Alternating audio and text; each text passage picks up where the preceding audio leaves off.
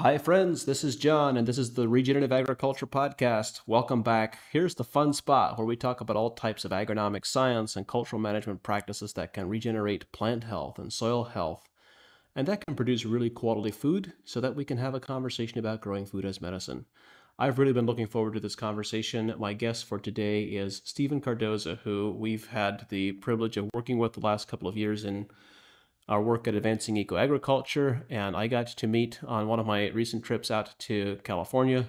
Steven, thanks for being here. I've I've really uh, been looking forward to having you uh, share some of the things that you have experienced and that you've been working on. Tell us a little bit about your your history and your journey, your pathway, and and what it is that you're doing today. Hey, John, thanks for having me. I uh, would just want to start by saying that uh, your work your company AEA have been, and your this podcast has been uh, massively influential on myself, my family, my business, and has nearly reconstructed what, what we do here on a daily basis and has certainly influenced the the company's uh, viability going forward. So yeah i just want to thank you for that. I'm a second generation grower. We farm organic raisin grapes just south of Fresno, California. I um, grow for uh, a company you may have heard of called Newman's Own. So all of our raisins go in a Newman's Own organic box. Well, not all, but we, we provide those. And we also grow for Sun-Maid and uh, one other packer. My dad transitioned to organic in 1998. He did so solely because the pesticides that he was using was were physically making him ill and he would be he he's never sick like uh, my entire life i've seen my dad sick maybe a handful of times and when he, there were certain products that he would apply and would be sick for weeks afterwards so he decided before organic was cool to make the transition he did so up until i took over the business in uh, 2017 and that his transition to organic gave me a massive jump start on our path towards regenerative agriculture and that's where we're at now and uh, with the work of aea and the implementation of sap analysis we've completely changed our approach to nutrition management and soil health management and it's uh, had a, a profound impact on on our business and the health of our of our farm I'm I'm really curious about what changed for you. That's that's quite a uh, that's an interesting history. You know, when you think about fruit and vegetable growers being organic for long periods, like the organic space has been around for what is it now, 30 years, 40 years almost, I suppose. But when you think about large scale production of organic fruits and vegetables, it really was not that significantly that significant in scale historically. And so for you to describe that you you made that transition back in 1998 um, that was you were the pioneers in that space i'm sure for for raisin grape production. But you know there is within the uh, organic certifi- certification process domain there is this uh, expectation that we are going to work on improving soil health and leaving our soil better for the next generation however that might be defined uh, so I'm really curious how uh, what did that process of improving soil health look for you? And then what changed in the last couple of years? What are you doing differently now than you were a decade ago? I would say the first thing that comes to mind that uh, seemingly has the, the greatest uh, degree of influence is tillage reduction. So organic producers in general tend to rely on tillage uh, especially for weed management. So that model is accelerated in raisins because for those that are not familiar, uh, raisins are picked as fresh grapes and put directly onto the soil surface to dry in the sun for anywhere from a few days to a, to a few weeks or uh, in the case of 2023 i had trays out for a month in some places just because the weather was not uh, cooperating. So, because at the end of the growing season, our our make or break uh, like financial result with our our year is going to be on drying the raisins. That's a huge influence. So because that's the case, growers of all type, even conventional growers that are utilizing conventional, uh, very effective weed control methods, they still uh, engage in very intensive tillage just to keep the what's going to be the drying surface of the the grapes into raisins immaculate. And the soil conditions out here are very sandy, so they create this barren, sterile, uh, flat drying surface that is it is required and for the the most effective drying process. So our first significant shift in our management systems was we were already cover cropping. We switched from doing every other row to every single row, and we switched from disking and heavy tillage starting in the spring through the entire summer and up to harvest to mowing.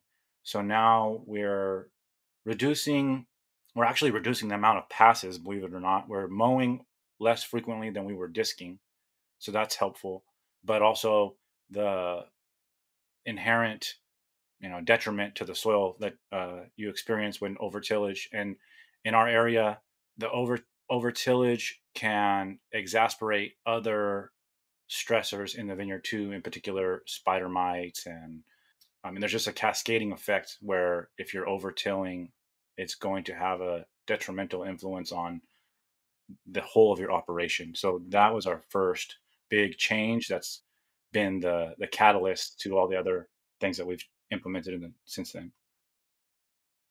And I think this is kind of the, the fundamental key question. There's all of the we can talk about all the soil health improvements and things that you might have observed with those cover crops, but you described the the operational imperative of getting the drying process to be very effective. And so, how has this use of cover crops um, influenced your ability to dry the raisins? There's been zero influence. It's exactly the same. So we, yeah, wait, yeah, what? It's it's exactly the same. Yeah, that's uh, it was it was a very difficult, especially for my father to to give me the the power to to make that decision to not disc the the middles of the row so frequently. Uh, the nature of our soils and the fact that most of our stuff is on drip irrigation, so it's dry, hot, dusty centers. To leave that with a, a cover or after the cover crops uh, die, once it starts getting hot, we start having uh, native plant species grow and um, they tend to have some robust root systems. And if you don't uh, prepare the soil adequately before you put the paper trays down, those like the plant material, the roots, the little sticks poking up can puncture the trays. And then if you, uh, when you go to pick them up, you're losing crop. If you get rained on, hopefully it doesn't happen, but if it does and your your uh, trays are not perfectly flat, then there's going to be more damage uh, from the rain. So, like I said, it's uh, a make or break time frame for any raisin grower. So you tend to prioritize that throughout the year. It's on your top of your mind all year round.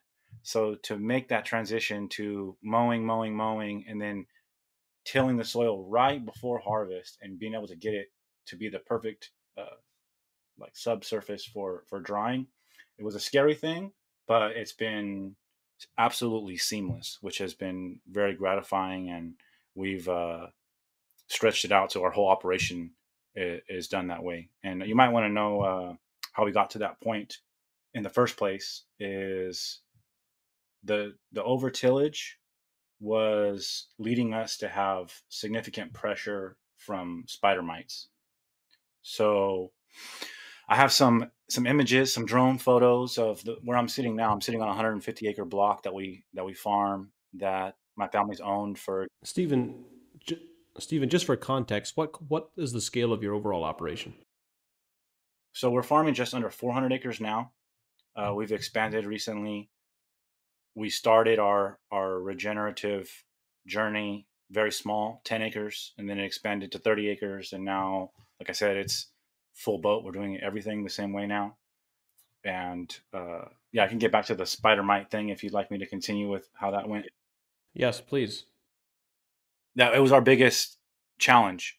We had a year 2018 that uh, this 150 acre block, 130 of the mm. acres had near 80% canopy loss, like defoliation, dried up leaves in July because the infestation was so severe. We had growers ask us, "Oh, what'd you guys spray on the vines to take your canopy down like that? You're pulling those mm. vineyards out, or are you doing it to aid in the drying process? What's going on?" And the answer was no. We got pummeled by spider mites, and the most striking imagery of of the the benefits to the the regenerative model was this 150 acre block had a 20 acre rectangle that was perfectly green still. And that was the first, when I said we went from 10 acres to 30 acres, that 20 acre block was the first no till, uh, regeneratively managed block that we've done on this particular property. And that's where my dad wow. threw his hands up and was like, okay, you're, this is your, your go now. Yeah, everywhere. I'm not doing this ever again. This is your responsibility from now going on, and I'll take care of the banking stuff. That that would be a very powerful image to to see that in the middle of a block. Do you have any a, a theory of how the cover crop inclusion led to a reduction in spider mite pressure?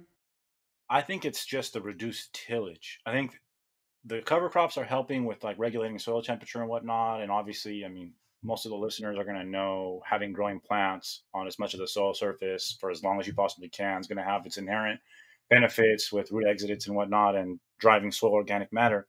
But I think uh, a lot of the spider mite pressure you see in my area is self inflicted by what I was mentioning prior growers' emphasis on, okay, I got to make sure my drying surface is going to be perfect come harvest. So I'm going to keep disking, keep disking, keep disking. And every every time you pass with a disc when it's 110 degrees outside and you dust out that vine, you're increasing the abiotic pressures to it. So you're making the vine more susceptible to the to the spider mites.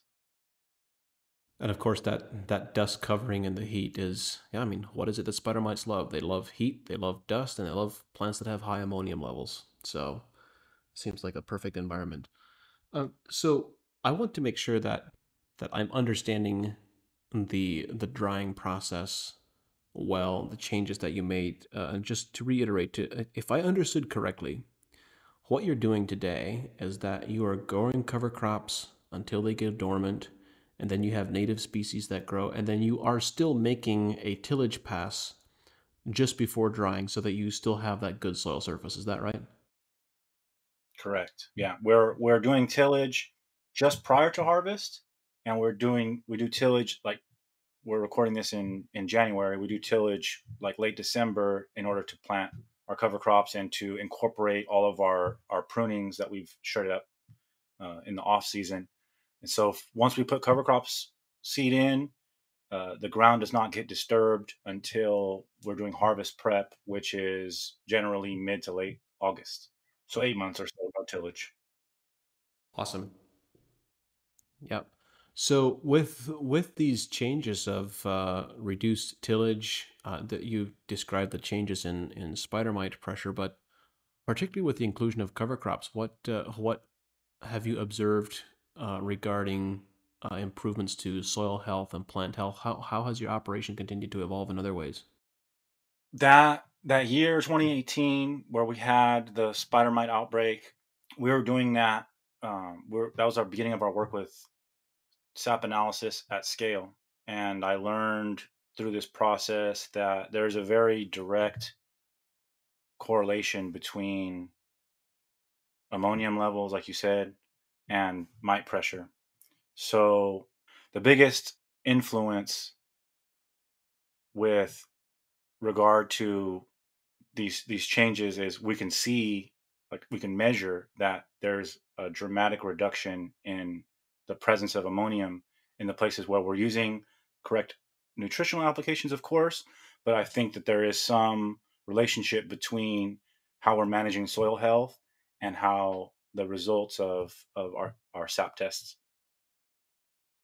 Yeah, so let's let's talk about um, nutrition management a little bit, and this this is another aspect. It's I'm I'm I'm really fascinated by this conversation, Steven, because I don't often get the chance to have conversations with growers who've been organically certified for that long, who then shifted and started making very intensive nutrition, started using very intensive nutrition management. Usually, those steps happen in the opposite sequence. There's nutrition management first, and then organic certification second.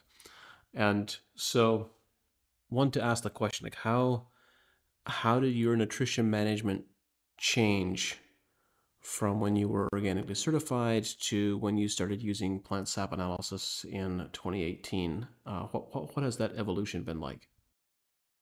Something that I took note of when I when I started working when I quit my job and came out here full time working at the farm was that the way we were approaching nutrition was like trying to shoot in the dark or throw something against the wall and hope it sticks. And there's not a real uh, strong understanding of what you're applying and why. And that's kind of the approach that we had with our uh, PCAs and th- the way that, you know, my father was educated. I just saw there was some significant opportunity to try to refine the process. And I, I see it still to this day with the growers that I have conversations with. Is a lot of times they just they read an article or they have a PCA or a CCA tell them, hey, it looks like you might be deficient in XYZ, or they do their traditional like pounds on, pounds off of NPKs, and that's how they're writing their their recommendations for the entire growing season in January. It just seemed very didn't make a lot of sense to me.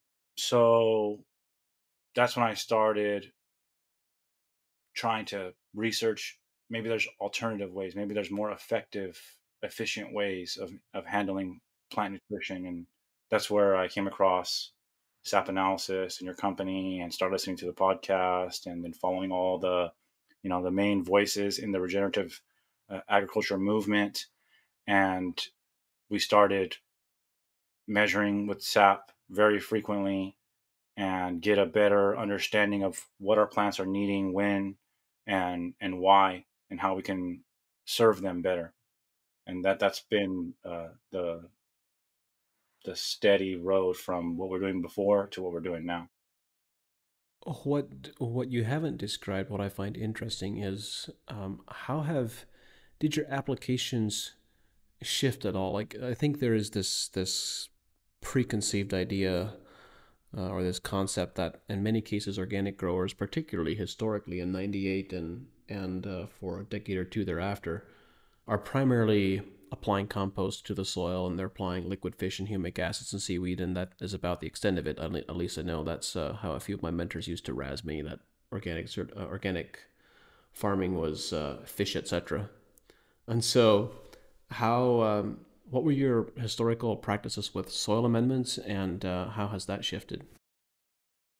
Uh, we were using compost prior, just what was cheap. You know, there wasn't like a lot of thought into what we were choosing, uh, what type of compost and uh, the metrics behind that compost.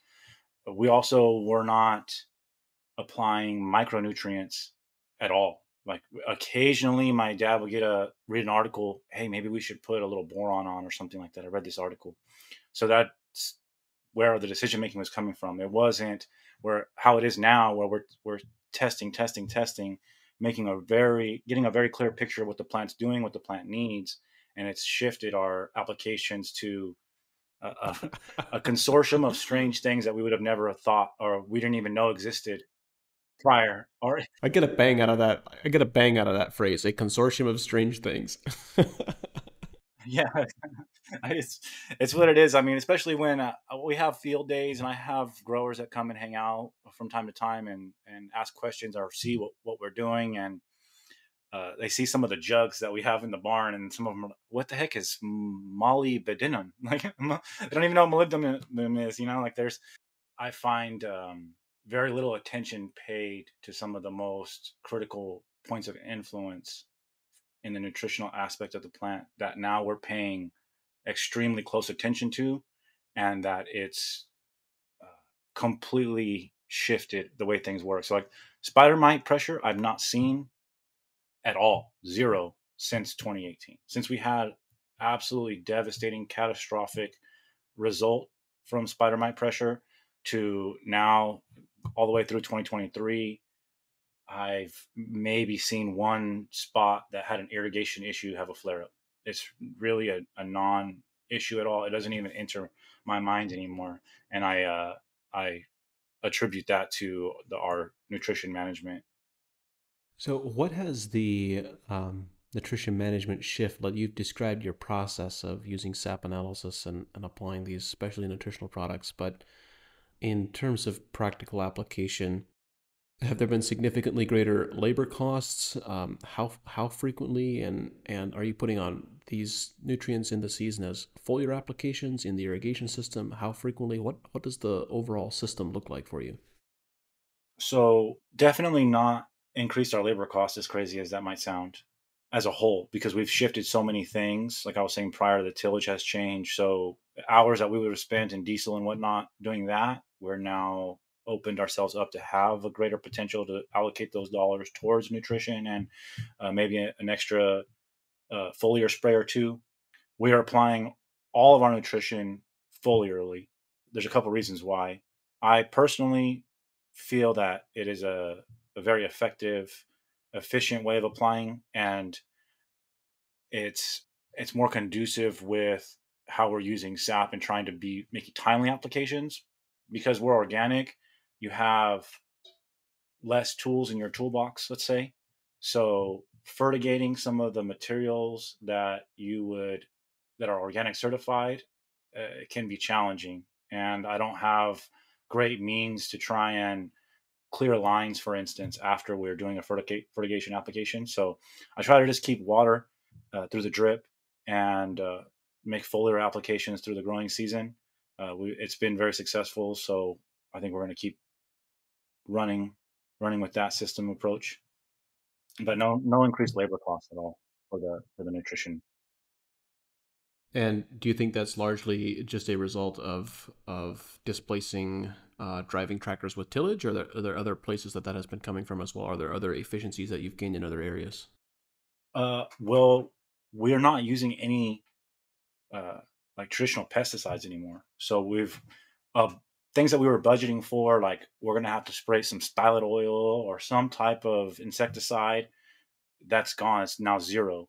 So we can shift those dollars to nutrition management, which is going to give us a greater degree of resistance against those pest pressures. So we're moving in the direction of we're eliminating budget line items entirely. So it we end up having a usually a dollar for dollar savings uh, with the approach that we're taking now versus having to spend you know a few hundred dollars an acre on a pesticide approach that's doing nothing beneficial for the planet just out there trying to kill bugs.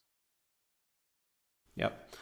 Um, let's talk a little bit about your cover crops. You know i'm as i learn more about uh, cover crops I, I, and and what they can contribute to our soils i'm, I'm just I'm becoming increasingly intrigued and impressed by the possibilities of having perennial cover crops in an ecosystem. And I'm of the persuasion that in some ways they, well, let me say it this way many perennial species are able to contribute things that most annual species of cover crops are not able to contribute. But also, obviously, we have to work within the the confines and the, the context of the uh, farming operation and its capabilities. So I'm curious, uh, what are the cover crop species that you have been using, and how do you envision that evolving in the future? Mm, okay, so my cover crop seed blend shifts year to year depending on what my objectives are and it's block to block too depending on the, the context right so some another like co-benefit in my context with cover crops that gets overlooked i feel generally is uh, habitat for beneficial insects so i try to grow things that are going to be a great habitat for beneficials that they you know do all of my pesticide work for me as well. In some blocks, I I'm doing more nitrogen fixers. and others, I'm doing things that are creating a greater biomass because um, I utilize a piece of equipment that actually I heard on your podcast many, many years ago from grower uh, Mike Omeg, mow and blow mower. So I've adopted that practice in my systems, particularly in young young vineyards that I just planted. I'll I'll plant something that's going to have a greater biomass and that's going to have a, a, greater crop residue. So when I do the mow and blow, that the residues last uh, longer than say like a, a heavy uh, nitrogen fixer blend that's going to you know break down a lot faster. So it's just it's context specific. Some places where I might have a little bit of compaction, I'm putting daikon radish. So I try to just like the approach with sap, tailor your recipe for your your needs and your goals. Uh, I try to do the same as best I can with uh, the cover crop species. So the the blends range from grasses to brassicas to nitrogen fixers, the whole slew of things, really. As you've been working with these cover crops, how uh, I mean, you you've commented on the improvements in plant health and the spider mite resistance, but what improvements have you observed in soil health? How how has that changed? Uh, we've had very slight increases in soil organic matter I think that the context is key here, in that in my area, have like traditional ground will have less than half a percent of soil organic matter. It's very regular. Whenever I rent a new block or buy a new block, and we do a soil analysis, it's almost always below half a percent. So we've gotten some places as high as two percent, which is fantastic for me. I know a lot of listeners will be like, "What the heck? That's so low still." But California soils uh, that can be challenging to try to drive soil organic matter. So we've seen that. I use soil moisture probes when I irrigate, and I can measure that when the plant is not in very high demand for water, that moisture will stay higher in the soil profile longer than it did when I first installed the probes, like 2017, 2018. So we've seen the the top four to eight inches uh, have a greater degree of water holding capacity. Those are the those are the probably the most the things I can back up with with data. I don't I don't think it's a, a surprise at all that your organic matter is at two percent. In fact, I'm impressed that you took it from a half a percent to two percent in such a short period of time because um, yeah, for people who are missing context, not only are there very sandy soils, but they're also exposed to California sun all year long. And so um, carbon cycles very rapidly through these soils. You know, the reality is we, we shouldn't be thinking about, and I've, I've made this point in many presentations, but the healthiest, the, the most productive soils and the healthiest soils are not soils that sequester the large amounts of carbon, they're soils that cycle the largest amounts of carbon. And so it's not just purely about carbon storage, it's also about carbon cycling. And in the environment that you're in, carbon is going to cycle very rapidly. It's going to flow through that soil system very rapidly. And the key is just to have plants there that can capture it when it's released back as carbon dioxide into the atmosphere. Yeah, absolutely. Yeah, absolutely. That's why I try to keep growing plants covering as much of the soil surface for as long as possible when I can. And I've even, uh, where I have flood irrigation, I've even custom built a couple pieces of equipment that allow me to create a, a, furrow so I can flood and not disturb the cover crop in the middle so I can irrigate my vines and my cover crop simultaneously and try to drive that carbon cycling system uh, the best way I possibly can. Yeah, I think uh, of all the pieces that you've described, your your improvement and again, this is this is context specific knowledge, but when you say that you have these moisture probes and all of a sudden your your soils at four to eight inches are holding water uh, longer, and that uh, if if I understood, if I'm interpreting correctly what you described, that you are also moving water from deeper into the soil profile back up into that surface layer more effectively. Is that is that a correct interpretation of what you're describing? I presume that that's the case. It's hard to measure that Uh, unfortunately, it seems like it, it would be easy with the the sensitivity of the probes, but it's hard to know that that is happening with certainty. But I suspect that that's occurring as well. Well, still, you're not you're not adding more from irrigation. I I'm assuming so. You're you're able to see that that water is showing up from somewhere, and so that Steven, that that is of all the things that you know. Occasionally, when I'm interviewing people, they, they say these amazing things that you they just really grab your attention.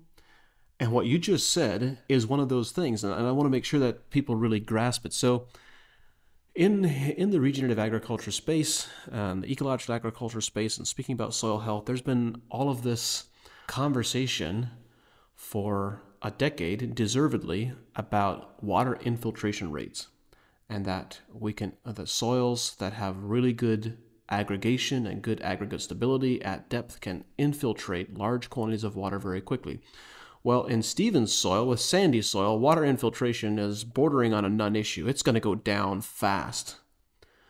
But there's this other word that we've largely lost sight of, and that's called water percolation. So, percolation is the ability of a soil to move water both downwards and upwards. That your that your the soil has the ability to then move water back up into the soil profile.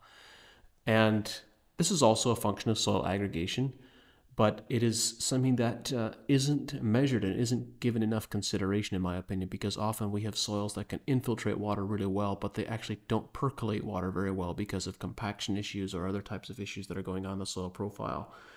And the what makes this even more amazing, Steven, is that you have you're demonstrating the ability to percolate water in sandy soil.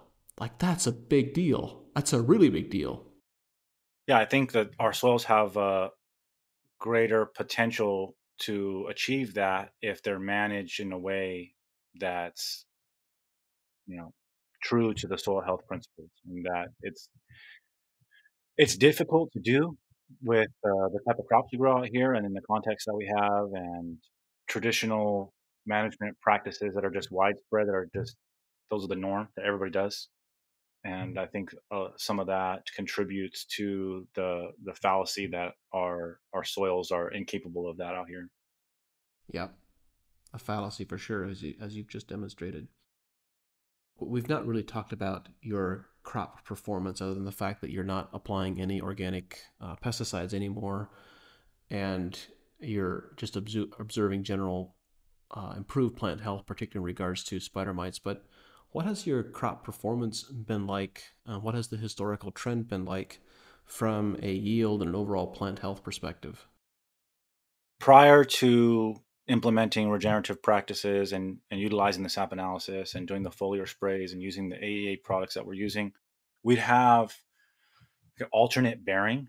Like we'd have a very good year and then a very, very bad year. And it was consistent, then back to a good year. It was for a decade we were experiencing that so we've seen that that those ups and downs plateau and now they're in a steady upward trajectory so over the last few years last year 2023 this uh, past growing season we had our our biggest crop and 2022 we had what would be considered slightly below what would be a, a good yield on our up years prior to this. And then 2021 was our previous record for biggest crop. So the up and down has shrunk significantly. Uh, we're seeing a lot more stable yields. And the other interesting piece of that is that we've seen quality go up at the same time, which traditionally in raisins especially is mutually exclusive. As your yields go up, your quality always goes down. So we've seen yields go up, quality go up, which is shocking, and our packers love it. What defines quality in a raisin grape?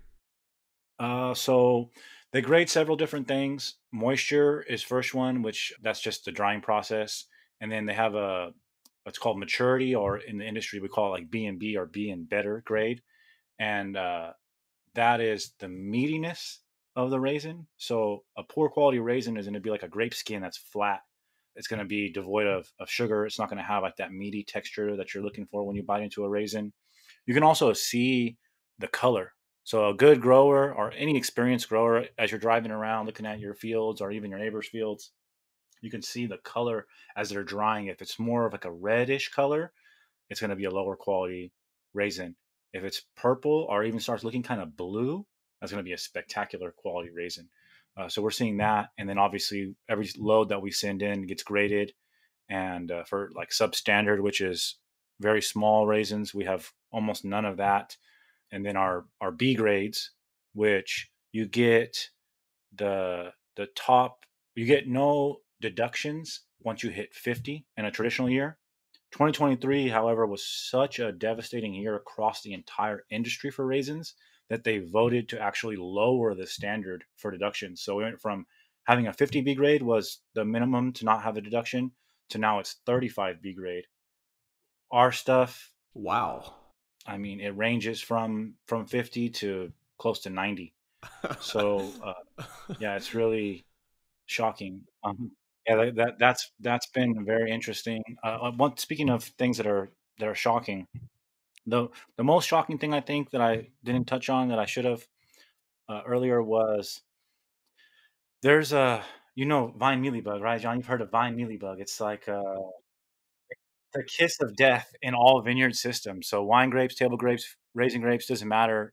Once you get a severe infestation of vine mealybug, traditionally the there is some harsh chemistries people will use to try and eradicate it, but often it's pull the vine out, find the vines that are harboring the the pest, and rip them out. We, um, as we've been trying to expand the business and get more acreage, we've uh, taken on a few vineyards that were managed like a like a bare bones minimum approach. One one of which had citrus in the middle of the vineyard, which is a, a host for for vine mealybug. And uh, I have drone images of some of these fields before we pulled the citrus out. That there's like a ring around the citrus of black vines, and that is a telltale sign that you have a very uh, significant vine mealybug problem. There were there were sections of some of these vineyards that were so bad that we couldn't even pick them we picked them the first year, and every tray, like I said, they're sitting out in the sun. Usually it's bright green or yellow, clean grapes. That's all you see. These infested vines with vine mealybug were black, and they had this sticky, nasty honeydew over them. They were it was garbage. We couldn't do anything with it. So we even uh, skipped sections of those, this vineyard uh, in year two. Now we're in year six, and those same rows, you'll never know that there was vine mealybug. And I did nothing uh, consciously to try and eradicate it. It was just a side effect of doing sap analysis and managing nutrition properly and irrigating adequately the cover crops and whatnot. But I don't know. I can't attribute it to one thing or another. I think it's just the combination of all these practices have given the vine the ability to eradicate the vine mealybug themselves. And it's just the most shocking thing that I never anticipated. I I wish people would study and try to understand it better than I do because I, I just want to know what happened because uh, it's it's uh, a shocking occurrence to say the least. Wow, that that is an incredible story, Steven. It's so it's such a it's such a common story though. It's an incredible story. It's this is the first time that I've heard this about vine mealybug. This is the first time I've heard your story. But yet it's a common story for other plant species and other diseases. Like you, you probably remember Mike Omeg's story on bacterial canker and cherries. And you know what I find intriguing is that there are, it seems that for almost every crop, most crops, particularly the perennial crops like uh, the trees and the vines and so forth, almost every crop has one of these quote unquote incurable diseases, the diseases for which there are no effective pesticide treatments. And I have heard the, the phrase, if you can solve X problem, you'll be a millionaire. Like, if I've heard that once, I must have heard it at least 50 times, and I'm not exaggerating. And we have a perfect track record of being successful on every one of those 50 plus quote unquote incurable diseases but there is no silver bullet. Just like it's it's, it's your experience 50 times over, as it was with Mike Omeg and bacterial canker and Pierce's disease and crown gall and greening. The list goes on and on. It's like when you manage nutrition right, they disappear. What did we do? Like, we can't point to X product. We can't say it was molybdenum or it was cobalt. It was everything. We improved the nutrition for everything, and it just, they cease to be a problem. It's so much fun when that happens. Yeah. No, uh, it reminds me the first time I ever heard you speak and met you was many years ago. I got a, a phone call from a person that I deeply respect and is a big mentor of mine, uh, Vernon Peterson. He calls me. I'm on a tractor. He could hear that I'm on a tractor when I picked up. He said, Hey, Steve, I hear you're on a tractor. I said, Yeah, what's going on, Vernon? He said, Whatever you're doing today is not nearly as important as what you're going to be doing this afternoon, which is have lunch at my house. I said, Okay. He said, Drop what you're doing. Come over here right now. I said, Sure. I had no idea what I was walking into, but uh, I parked the tractor. I got in my truck. I drove down to Mr. Peterson's place, and there was uh, uh, Mr. John Kempf talking to everybody. And the reason that Vernon invited us, us all is because he experienced something very similar with uh, one of his orchards. I think I believe it was peaches that had uh, I don't know if it's bacterial canker or had some disease to where he was planning on pushing the whole orchard out, and he gave AEA, "Hey, if you can fix this, then I'll do all. You have all my business essentially." And uh, that's essentially what happened. Now that's one of his highest performing block of, like I said, peaches, I believe. That's what started me down this rabbit hole and and gotten me to the point where I'm at now. And I'm very grateful for Vernon for that phone call that day. Wow, that's a good. It's the first time I heard that story, Steve. Thank you for sharing that. Yeah, yeah. Vernon is uh, Vernon is one of these amazing mentors. Uh, what was what was it that I called him when I interviewed him on the podcast? Uh, this encourager or inspirational. He's he's very good at uh, drawing the best out of people. Yeah, yeah. So uh, let's let's come back to the the story that you were telling us about quality and yield. So you described that you have you've had these quality improvements, uh, and by the way, fifty to ninety percent uh, meeting the B plus threshold in a year when others were struggling to meet thirty plus or thirty five plus, whatever the number was. That's a pretty remarkable story. So, and you experienced this in twenty three, which was also your record yield uh, and as you pointed out, getting yield, high yields, and quality is usually considered to be mutually exclusive. So, um, can you give us some context for what the yield improvements have been like over the course of the last half a dozen years, or since as as you've been smoothing out the alternate year bearing?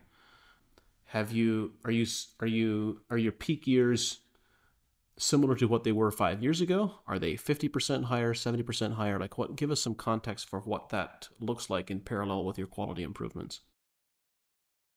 I would say the peak years are probably 10 to 30% increase and the but the bad years are double what we were getting in a bad year. So it's really like smoothed out our variable income. Like if, I do, uh, I'm very active in um, pursuing grant applications, so I'm very familiar with my my uh, tax forms. I'm sending them to people all the time. So when I look back at what our gross income was then to now and year over year, it's a pretty significant shift. And our down years are nowhere near as low as they were before, and our good years are even better. So it's promising. So when you think about you, you started describing the uh, your experience with the vine mealybug. Uh, you described that as a, as a as a shocking experience. What what other memorable moments really stand out for you? With regenerative practices, just your overall transition. Yeah, what what really caught your attention? It's hard to to single out any one besides the the the mealy bug that was the the most shocking thing that I've that I've seen because it's not supposed to happen, right? Every every expert will tell you that that once you have uh, an infestation to the degree that we did, that you just need to pull the vines out. That's probably the most shocking thing that I've seen. I'd say my dad would probably answer that question with the quality. He's been growing raisins since before I, I'm 35, before I was alive. So he has tons of experience, and he's a leader in the in the industry. And he's an old school dad. You know, you don't get a lot of wow, that's really impressive. But the quality that seems to be point of piqued his interest. It's striking to see the the shift in what where we're at to where we're at now in such a short period of time with the same exact vines that are in the ground.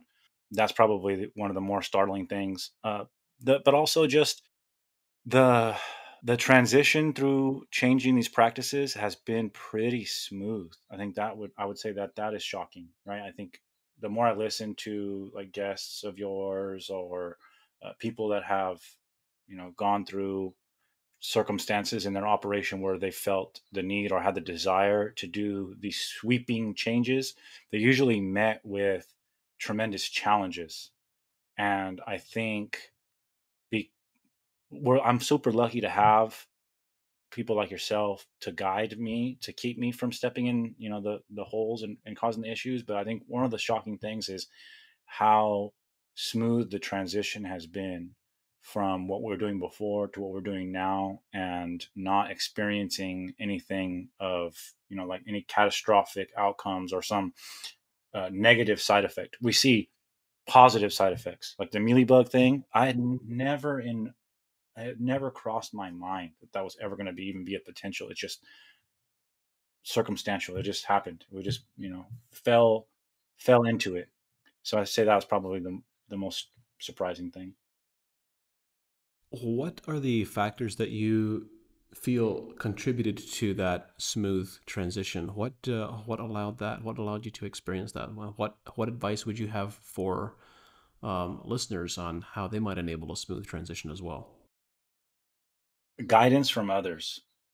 I think one of the advantages to from from my perspective, I see as an advantage is that I don't I came into this so ignorant essentially i didn't know and i was comfortable not knowing and so i didn't have like um like my ego stopping me from from doing something or from uh, trying to be stubborn about my approach just seeking the input from others successes and failures uh, driving around and seeing what people are doing that was helpful but i think there's so much information available if you take the time to listen and I I feel like it's a a common position to take. Maybe it's just in my area, maybe it's everywhere, where people tend to dismiss advice and input from growers in different areas or different crop types, and they're like, "Oh, that works for them. It's not going to work here." It's kind of like a thought process, and I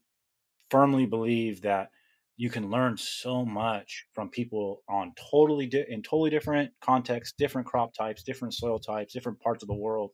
That there's always something that you can kind of glean off of their experiences, and I think that being mindful of that in my approach and considering what people have uh, failed and succeeded with has helped, you know, guide me down a path that's allowed the, the transition to be pretty smooth. When you think about your memorable moments, you, you described that you also have people stopping by to look at what you're doing. I know you've had field days uh, on your operation. What are the pieces that other people have been intrigued by? What has really caught their attention?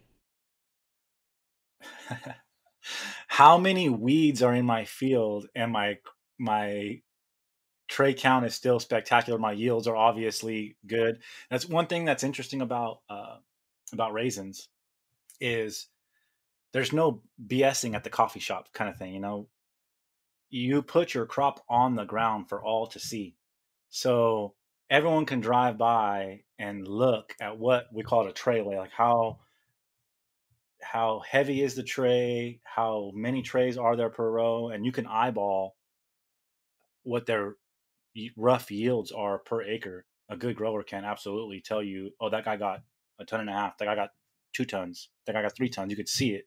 So that tends to to get people asking questions from time to time.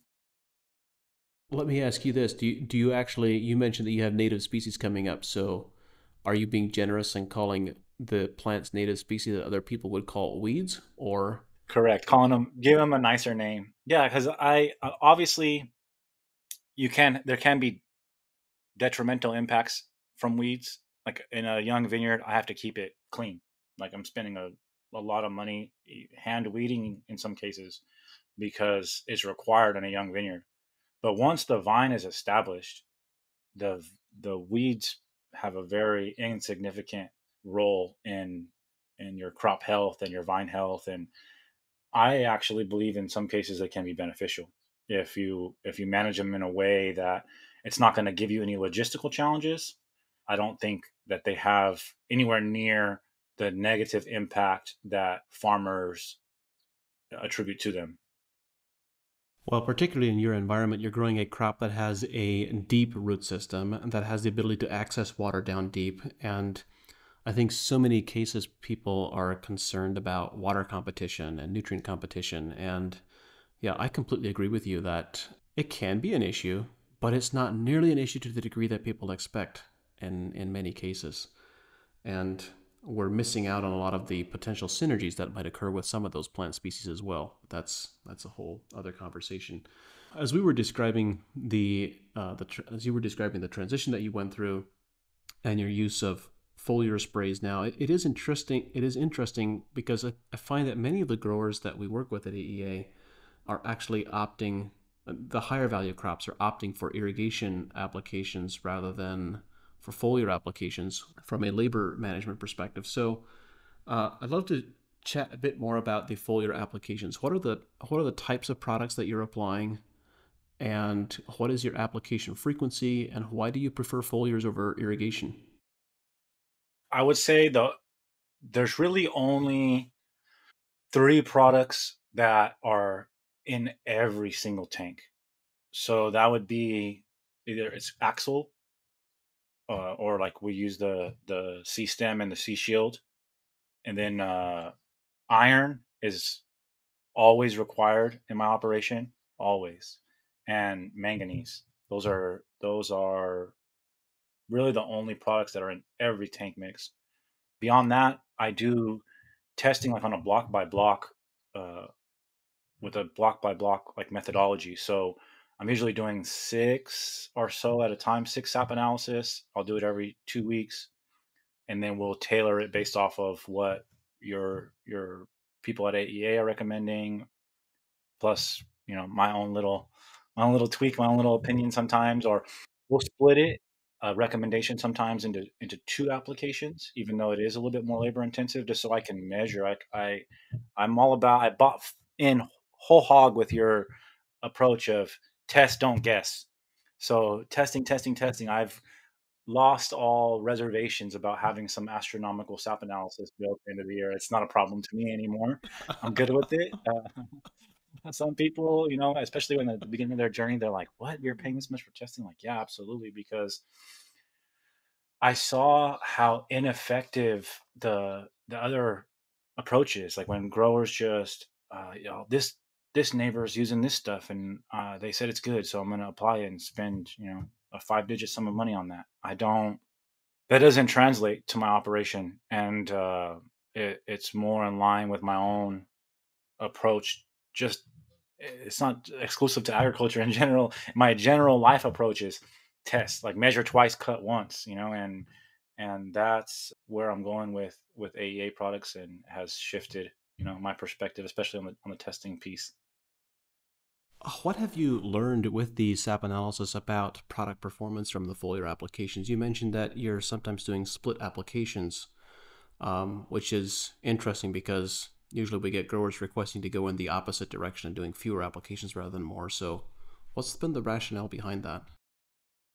Well, it depends on the, the type of year or the time of year, excuse me. Depends on the time of year of what's going to be the important, the priority.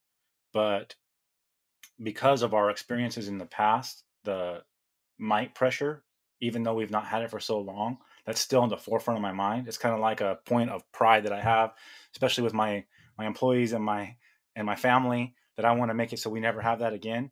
So uh, I'm focusing on getting ammonium to cycle out of the the SAP analysis. So that's that's a big metric that we can use to see if the the the rec that was written in the application that we made is advancing us down that path and, and being able to to accomplish that within the plant just just the uptake you can see the uptake right? You can see the new leaf and the old leaf. So after you do an application you take a sap analysis you know a week later you can see okay that got into the plant. It's very telling.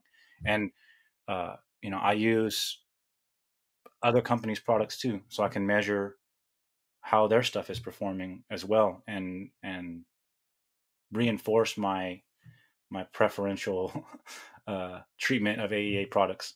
So hey, say that say that again louder for the people in the back. That's exactly what I want to hear. Yeah, I figured you might like that one. So yeah, we can compare, you know, and then um, I mean, at the end of the day, just like any grower, we're trying to cut costs, right? So if I can split an application and see, okay, I'm accomplishing what I, I need to accomplish based on this time of year, because you're trying to balance so many different different things, and occasionally the thing you're trying to balance is your budget, right? So can I pay a little bit more labor, but save on material cost, or maybe I could push a spray back a week or two by splitting an mm-hmm. application. There's a, a few different thought processes that go into it, but I also kind of want to test my limits, like see how successful is this going, like how the the end goal, like you've said many times, is you want to try to get. You're not going to ever get off of inputs, but you want to try to get that down to as low, as low as, as possible and I'm still working to achieve that just from a financial perspective as well. Less cost, more money. Yeah, yeah. Thank you, thank you for sharing that. I think it's. Um, I would be curious. You, you of course have traveled a very different pathway uh, coming from an organic context, and we talked a little bit about your your input costs and shifting away from pesticides. But uh, your your point about the bill for testing is, I think, a very important point because for for many farmers, that's a new line item on the expense side of the ledger. It's a completely new expense, and so it looks really significant if it, if it is any appreciable amount. Do you have any insights or perspectives on uh, how has that cost, that additional cost, reflected itself in your product use efficiency? We've already talked about the the yield and the quality improvements, but uh, how how has your product use efficiency shifted as a result of the use of SAP analysis and, and that significant budget item? Mm, I think that that's giving you the ability to determine whether it worked or didn't, and that I've seen in the past. I know, I'm certain other growers, even if they don't want to admit that they've applied something, they spent a ton of money, time, energy, labor to apply something that had zero benefit whatsoever. So you can you can pay for all your testing for years if you prevent that from happening just once. So that's how I can rationalize and not think twice about spending a significant amount of money in testing is that all it takes is one error, complete error to offset the the savings you would have by not testing. So it's easy decision for me to continue with the aggressive testing approach. It's not even something I think twice about. Yeah.